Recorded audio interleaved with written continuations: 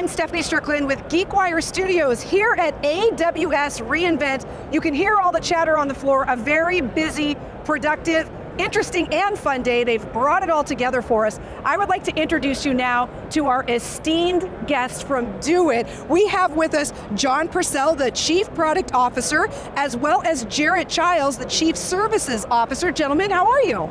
Wonderful. Thanks for having us. Doing well, doing well, thank you. So happy you're here. Start by telling me what is DoiT and how does DoiT fit into this grand scheme of all these businesses providing solutions to customers? Where do you fit in? Sure. Well, if you think about the businesses around us today, you know, attending the show and so forth, these are all companies attempting to sort of penetrate the cloud, harness the power of the cloud to run their business. But it's not easy. That's a very complicated, complex, sophisticated series of challenges. And really that's where DoiT comes in. And we provide support for those companies in really three key ways. We start by providing intelligent technology to help harness, to provide insights, analytics on your usage of the cloud. We follow that with deep, deep expertise and advisory services to help you harness that most effectively. And then thirdly, we provide it in a very disruptive economic model to really make that a compelling value proposition. It's pretty unique and the cloud companies, AWS included, are seeing that on a daily basis. What's the secret sauce that makes it disruptive? well, you know, to me, I think it's it's really like a triangle of value that we bring to the table. We have an amazing product suite that John's team helps build, uh, a DoiT console, if you will, where people have all kinds of insights into what's going on in their environments across cloud platforms, not just AWS. Uh, and then we back that with the advisory organization, the consultancy that I have. And so it's not just a services company, it's not just a products company, it's the services and the products and the power that they bring together that makes it really valuable with an irresistible commercial model underneath it all. So.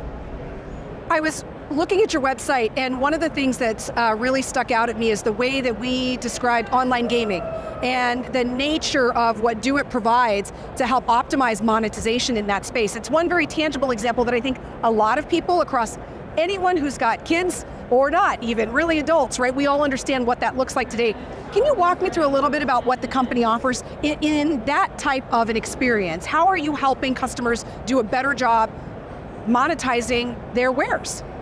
Yeah, well, I'll take a stab at that. I mean, gaming is one example, but I mean, we have uh, consultants around the world that are very, very senior. You know, these are not like the traditional low-level kind of support organization. We talk about support, support's table stakes, but it's truly a consultancy. And so when we have customers, whether they're in gaming or any industry that come to us, chances are we have someone in this organization that actually comes from like a CTO background, a founder background, a lead tech, a principal architect, that are meeting with these customers and sharing firsthand experiences about you know, the things that they've seen and how they help to help them evolve. And I think one thing that's really different is because our model is more advisory and consultancy oriented, in order for us to scale well, we want our customers to be really proficient be self-proficient. So every time they bring a, a challenge to us, a request to us, it's not just solve the problem and move on. Uh, it's definitely not like a bespoke pro-serve model where we're charging them for all the work and it bloats and there's change orders. But as we help them solve their problem, we help make sure that they are along for that ride. They're in the driver's seat solving those problems and we're guiding them through it. So they build a proficiency that makes them more efficient as they grow, uh, less reliance on expensive third-party services, and whether it's gaming, which is a good example, or anything else, we bring that same kind of DNA to the table on every customer that we help. I have to congratulate you both and the entire company on the strategic collaboration agreement. Uh, tell me a little bit about that. It's so obviously pivotal to be partnering with AWS. Um, tell me about that. Yeah, I'll, I'll touch on that too. Um, first off, we're very excited to embark on this. It's a five-year commitment, $5 billion in revenue that we're going to grow. I've got a lot of peers and friends in the industry that said, 5 billion, are y'all crazy? But honestly, with the, the partnership that we have with AWS and the trajectory that we've been on, it feels like a very natural trajectory in the collaboration uh, that we have together to go achieve this. So we're very excited. Um, it's going to fund four key areas that I'll touch on. Um, the first of which is application modernization. And when we talk about application modernization, a lot of time what that means to our customers is helping them migrate to the cloud through modernization, not a traditional shift, but helping them to develop very cloud native application architectures. It's really resilient, um, helps reduce the mundane operational overhead when you do it right.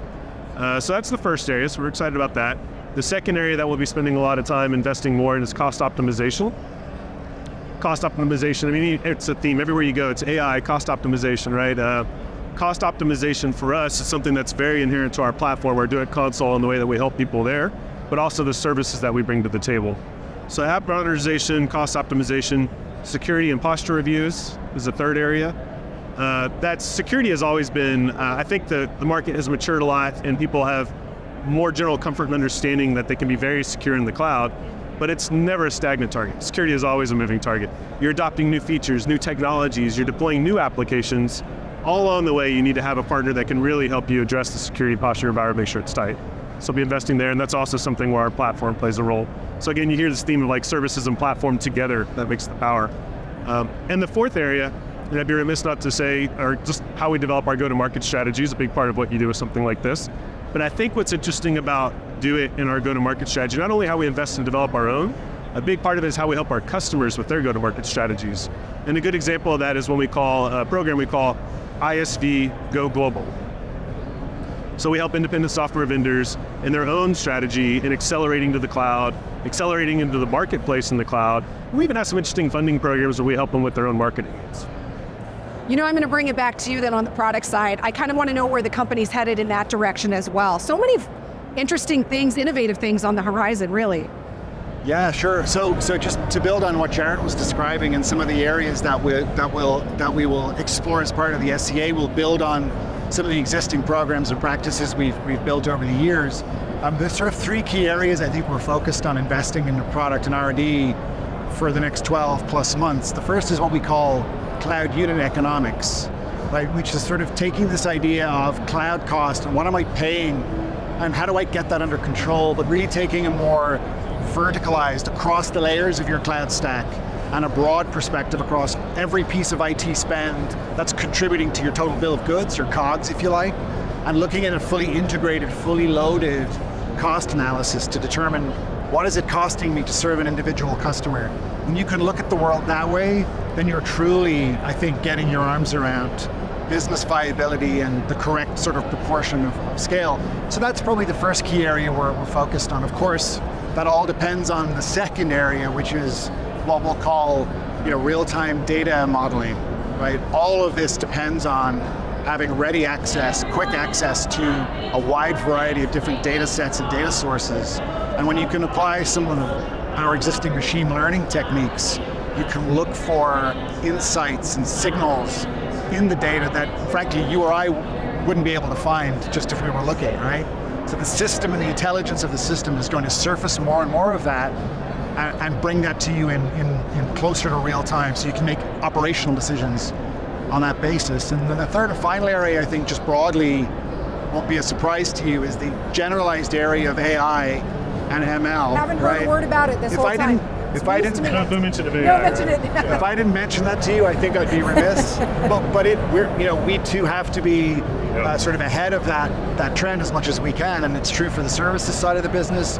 We have a lot of inbound questions and interest in how what should I be doing with respect to AI across our customer base. We've been invested in, in the areas of AI and ML for many, many years in terms of how we perform data ana analysis. What we're now doing based on some of the innovations this year is we're leveraging OpenAI and large language models to find different ways to expose that in a conversational sense with the end user. And as we think about 2024, we'll harness that to deliver new experiences to users, operators in the cloud and developers in the cloud. So it's sort of three key areas.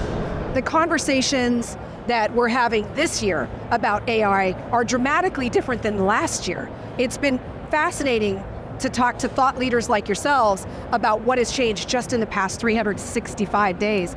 I want to ask you about, it's no secret if you've paid any attention to technology news, uh, that a lot of companies are facing some pretty significant headwinds.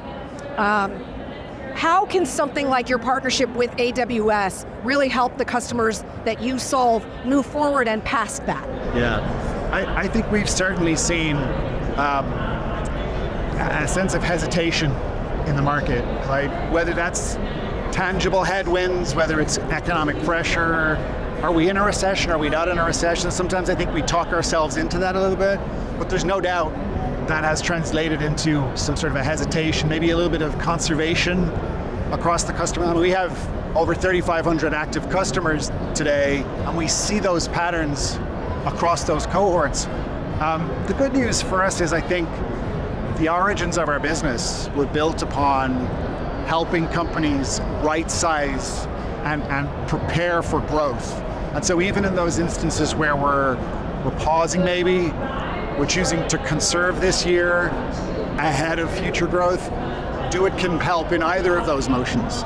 Right? We'll help you conserve, we'll help you find opportunities to optimize, save money, you know, choose the right moments to invest, so that when you do, we grow with you. I would add on that too, from a consultancy angle, like economic headwinds are sometimes stimulating, stimulating. Uh, customers, so we'll take a pause, but they take it to say, am I doing the right things? You know, and, and not necessarily just like basic cost optimization of resource, it's table stakes.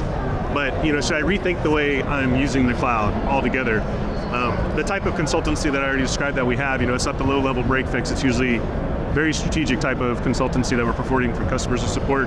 So we have an opportunity with over 3,000 approaching 4,000 customers where we see some very significant patterns in the kinds of requests that come in um, that help us think about you know what, what we should do. So that could tie that back to maybe things like what we're doing with the SCA uh, and why not AI. So generative AI, for example, is a topic that comes up a lot. I think economic headwinds can, can stimulate that too because people are saying, I need to do something different in my business. Is this something that can help me? And based on like the, the volume of customers that we have that are asking these questions, we're identifying where in large the market is in this journey and then we can use some of these, uh, the partnership, the, the agreement, the funds that we have to develop what we call these accelerators. So Gen AI is one of those where we, we've developed uh, accelerators to go meet with customers and say, right, let's look at your business use cases.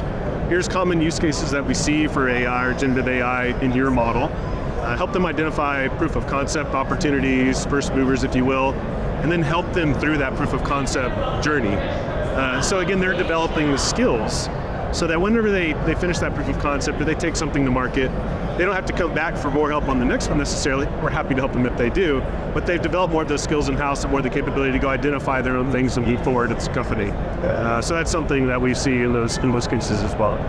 That's a very interesting way of thinking about um, a business challenge in that regard when we talk about those uh, economic headwinds. I do have to ask you, you know, given that you've got your strategic collaboration agreement and everything on the horizon for you, where does DoiT go next? You have a very broad horizon coming at you in the next five years and beyond. What's next for the company? Yeah, we do. We're we're we couldn't be more excited about where we go from here, honestly. And it's a lot of that is connected to the to the agreement we've we've signed with with AWS. But we've worked we've worked extremely hard over the number of years to build ourselves, build our company to the place that you see it, you know, today. And I think the agreement we've signed with AWS is, is recognition of the work we've put in especially to break into the AWS ecosystem and build a growing business there and help, and a, and a very healthy growing customer base. Um, but it doesn't stop there. We are a multi-cloud organization. We operate today across three of the major public clouds with more to come, right? So we, we have big targets to hit. We're excited to go, go, go get those targets within the AWS ecosystem but that's just a fraction of our of our overall strategy, and we're excited to go to go win it. Yeah, it'd be hard to add a lot more to that. You know, I think the uh, I've talked about the products that we are John's products and the the level of expertise that we bring. You know, this is a 10-year-old company, but in earnest, our AWS journey really began just a few years ago.